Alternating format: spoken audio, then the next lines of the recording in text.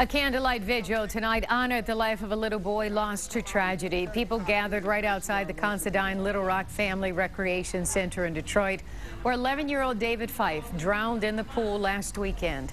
The pool was closed at the time, and it's really not clear how David got inside. His pastor says he was a special boy.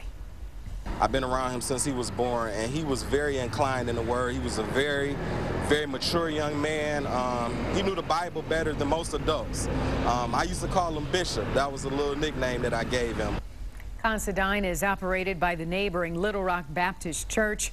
The tragedy has prompted a review of the center's security policies.